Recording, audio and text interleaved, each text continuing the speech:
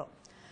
Nuove tecnologie per individuare le perdite della rete idrica di Modena. Il gruppo ERA utilizza anche un sistema basato su immagini satellitari. Nel 2015 è stato recuperato oltre un milione e mezzo di litri d'acqua dalle cosiddette rotture occulte. Ce ne parla Lorenzo Maini.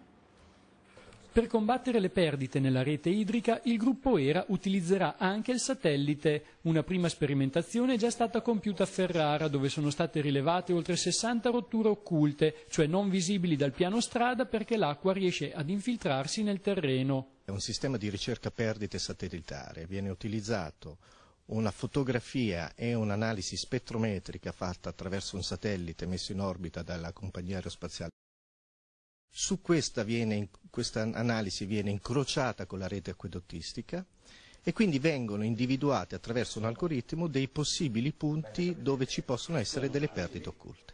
Il sistema satellitare di rilevazione delle perdite si affianca al tradizionale telecontrollo. A Modena, inoltre, il sistema è caratterizzato dalla cosiddetta distrettualizzazione della rete.